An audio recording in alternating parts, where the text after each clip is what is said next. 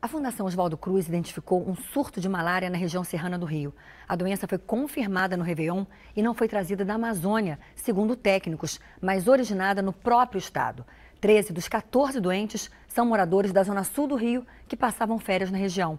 O outro é morador local. Nenhum dos doentes corre risco de vida.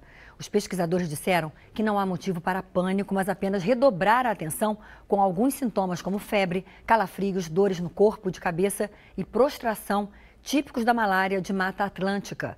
Os sintomas costumam aparecer 10 dias após a pessoa ser infectada.